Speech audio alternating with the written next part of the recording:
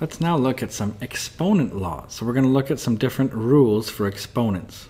Now remember what we mean by exponents. Let's say we have something like a to the power of m.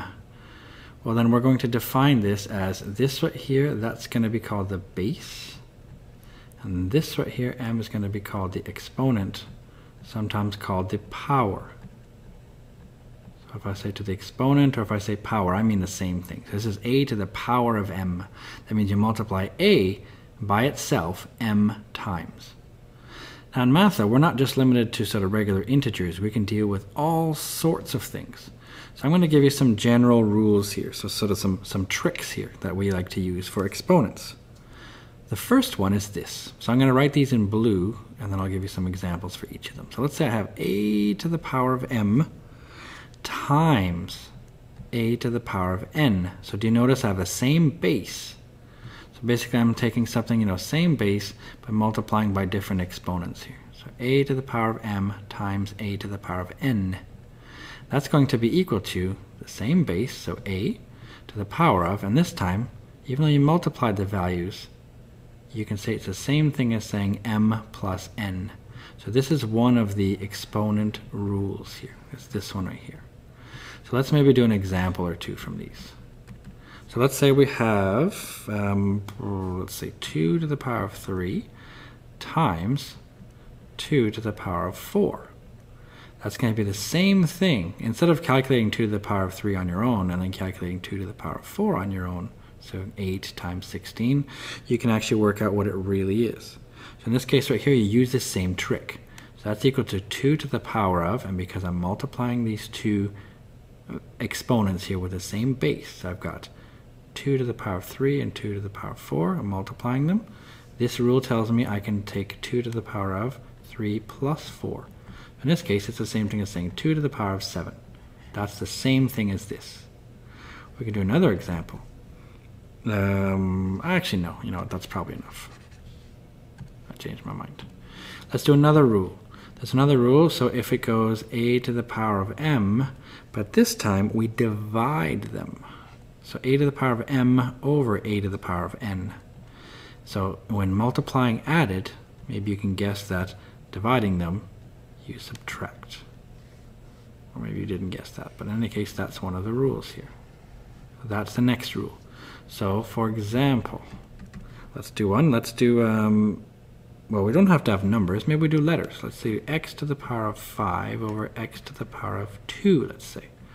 Well, that's the same thing as saying x, because it's the same base, and same thing as saying 5 minus 2.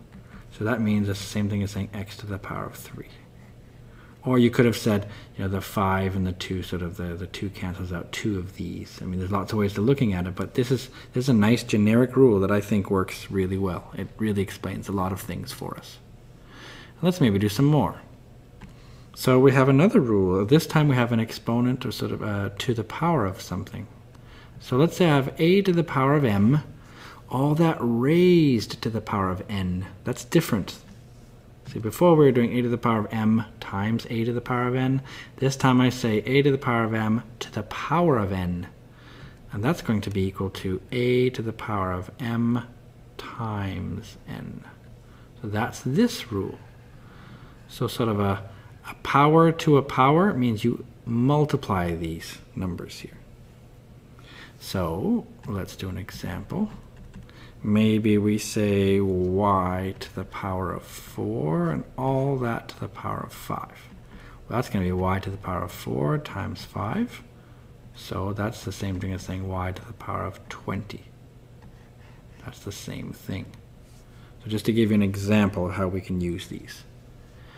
And also we can do sort of splitting things. So we can say a times b to the power of n.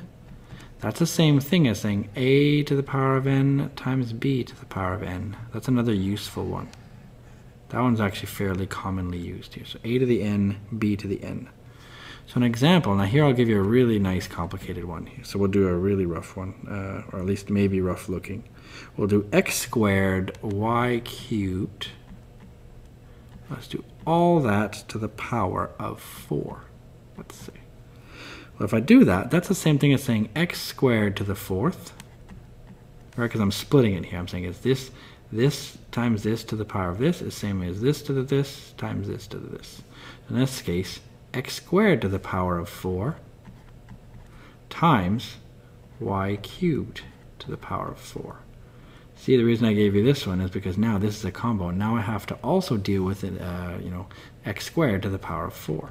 So now I'm going to use this rule here. X squared to the power of 4 is the same thing as saying x to the power of 2 times 4, which is 8. And y to the power of 3 to the power of 4 is the same thing as saying y to the power of 3 times 4, which is 12, because I'm using this rule as well.